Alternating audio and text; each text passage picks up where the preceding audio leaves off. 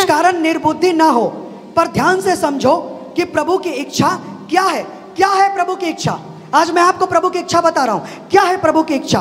प्रभु की इच्छा है दाखरस से मत वाले ना बनो, नशा मत करो, ड्रिंक मत करो, सिगरेट मत पियो गुड़ाकू मत करो, गुटखा मत खाओ, नशा मत करो। ये प्रभु की इच्छा नहीं है कि आप नशा करो। तो क्या करो? पवित्र आत्मा से परिपूर्ण होते जाओ। क्या लिखा दाखरा से मत वाले ना बनो, क्योंकि इससे लुचपन होता है। आप नशा करोगे, पाप में गिरोगे। लुचपन करोगे आप, नशा करोगे तो। पर पवित्र आत्मा से परिपूर्ण होते जाओ। और आपस में भजन और स्तुति गान और आत्मिक गीत गाया करो और अपने अपने मन में प्रभु के सामने गाते और कीर्तन करते रहो। और सदा सब बातों के लिए हमारे प्रभु यीशु मसीह के नाम से परमेश्वर पिता का धन्यवाद करते रहो। जब तक आप पवित्र आत्मा से परिपूर्ण नहीं है, आपके मुँह से आराधना नहीं निकलेगी, स्तुति नहीं निकलेगी, धन्यवाद भी नहीं निकलने वाला, अंदर से नहीं निकलेगा, आपके अंदर से। अगर वर्शिप चल रहा है, लेकिन आप वर्शिप नहीं कर पाओगे, अंदर से अंदर से वर्शिप समझ रहे आप भैया, हम खड़े हैं, बाकी लोग सब लोग वर्शिप कर रहे हैं। तो चलो, हम भी करते हैं। हम भी वर्शिप कर लेते हैं। प्रभु का धन्यवाद करेंगे। अंदर से नहीं हो रहा है, लेकिन अंदर से नहीं हो रहा है। मुँह से हो रहा है, क्योंकि सब गा रहे हैं, भैया, अपने को भी गाना है। और कई लोग तो आराधना ही नहीं करते, क्योंकि आराधना में उनका मन नहीं करता, उनको संघर्ष करना पड़ता है वर्शिप करने के लिए। जानते हो प्रॉब्लम क्या? आप पवित्र आत्मा से परिपूर्ण नहीं है, ये साइन है। क्योंकि जो व्यक्ति पवित्र आत्मा से परिपूर्ण होता है वर्शिप चला कि उसके रोंगटे खड़े हो जाते हैं, उसके हृदय के अंदर में गुदगुदी होने लगती है और वो अंदर से वर्शिप करने लगता है। अंदर से उसके वर्शिप आती है। वो अंदर से स्तुति करता, अंदर से भजन गाता है। समझ में आ रहा है? और आपको मैं बता दूँ, जो पवित्र आत्मा से परिपूर्ण है, उसका हृदय हमेशा धन्यवादित रहेगा।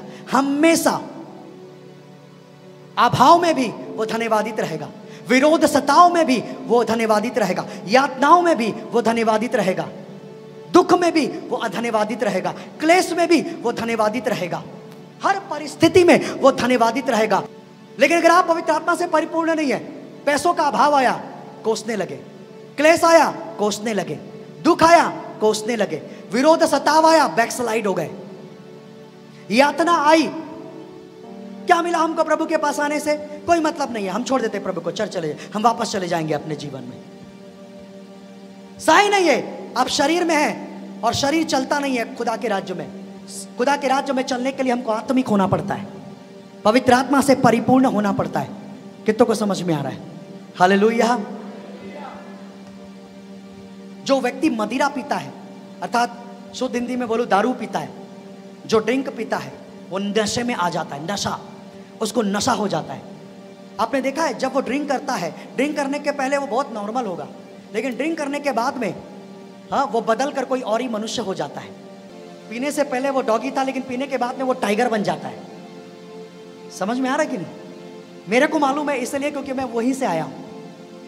वो अनुभव मेरे को मालूम है। पीने से पहले हम एकदम सज्जन होते हैं, पीने के बाद में फिर, कौन है? कौन है? हम बदल कर कोई और ही मनुष्य हो जाते हैं।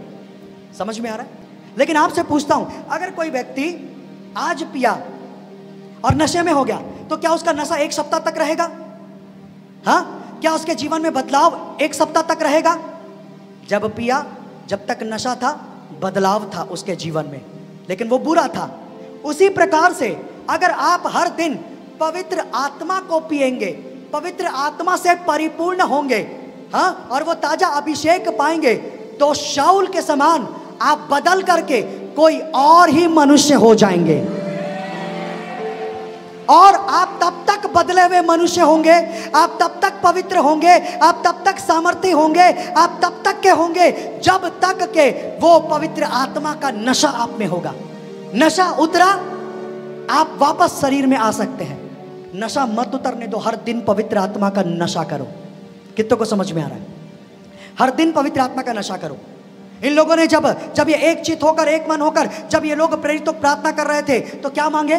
प्रभु, ऐसा वरदान दे कि वचन सुनाए हियाओं के साथ और बीमारों को चंगा करें। जानते हो क्या हुआ? जब पवित्र आत्मा से परिपूर्ण हो गए तो हियाव से वचन सुनाने लगे, पहला और जब आप पाँच अध्याय और उसके बारह वचन में पढ़ते हैं तो वहाँ पर लिखा कि प्रेरितों के हाथों से, बहुत से चंगाई, चिन्ह, चमत्कार और सामर्थ्य के अद्भुत अलौकिक काम होने लग गए। और प्रतिदिन वो सुलेमान के ओसारे में एक चित्त होकर इकट्ठा हुआ करते थे।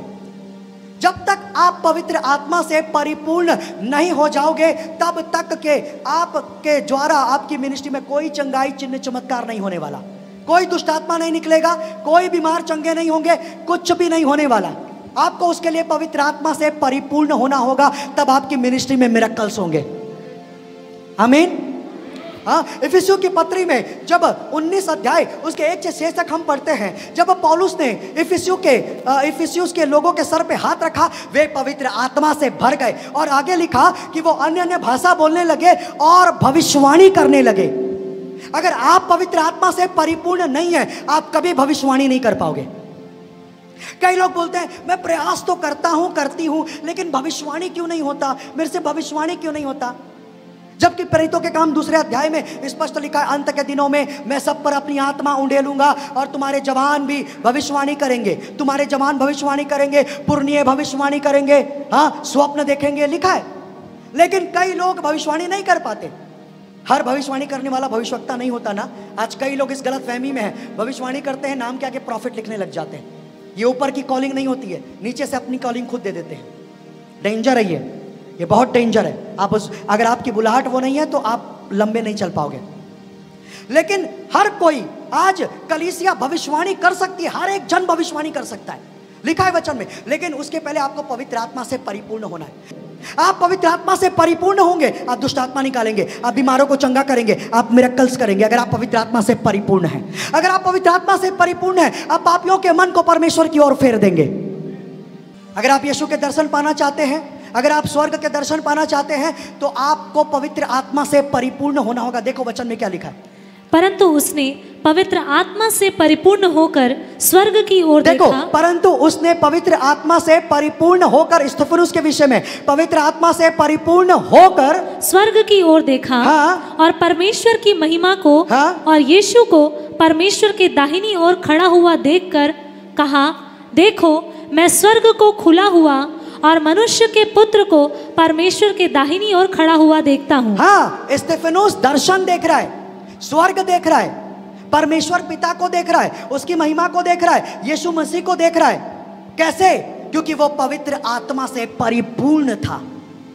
अगर आप, अगर अगर अगर आप अलौकिक दर्शन पाना चाहते हैं प्रॉफिटिक विजन चाहते हैं आप आप स्वर्ग देखना चाहते हैं, आप खुदा को देखना चाहते हैं, आपको पवित्र आत्मा से परिपूर्ण होना होगा। पवित्र आत्मा से परिपूर्ण होने का मैंने प्रभु यीशु मसीह को देखा। मैंने दर्शन देखा। और मैंने तब प्रभु यीशु मसीह को देखा जब मैं नया नया विश्वासी था, लेकिन बहुत आग में चल रहा था। भयंकर पवित्र आत्मा से मैं परिपूर्ण था। मैंने प्रभु यीशु को दर्शन देखा रात के साढ़े बारह बजे करीब जब मैं नए नियम से बाइबल पढ़ रहा था। और मेरे को प्रभु में आए हुए मात्र चार महीने हुए थे। मैंने प्रभु यीशु मसीह को साक्षात देखा था। हाले हैं। जो पवित्र आत्मा से परिपूर्ण होते हैं, वो नशा नहीं करते। जो पवित्र आत्मा से परिपूर्ण होते हैं, वो अन्य भाषा बोलते हैं, वो हियाओं के साथ में प्रचार करते हैं, वो बीमारों को चंगा करते हैं, वो दुष्ट आत्माओं को निकालते हैं। हाँ? और जो आत्मा से परिपूर्ण होते हैं, उनका हृदय हर परिस्थिति में धन्यवादित रहता है। मसीह के नाम से परमेश्वर पिता का धन्यवाद करते रहो मसीह के भय से एक दूसरे के अधीन रहो। आज सबसे बड़ा प्रॉब्लम यही है। कलिसिया के अंदर सबसे बड़ा प्रॉब्लम यही है, आज लोग अधीन नहीं होना चाहते। कोई किसी के अधीन नहीं होना चाहता। कोई किसी के।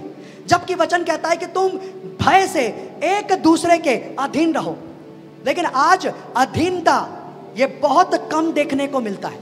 आज लोग अधीन नहीं होना चाहते। मेरे प्रियो, जानते हो प्रॉब्लम क्या? ईगो। और ईगो कहाँ से आता है? शरीर। लेकिन जो व्यक्ति आत्मा से परिपूर्ण है, वही कलीसिया की अधीनता स्वीकार करेगा। हाँ अपने अगवे की अधीनता स्वीकार करेगा। और अधीनता में होकर वो सेवा करेगा। नम्र और दीन होकर वो सेवा करेगा। याद रखो, अधीन वही हो सकते हैं जो नम्र और दीन है। और नम्र और दीन वही है जो पवित्र आत्मा से परिपूर्ण है। कितों को समझ में आ रहा है?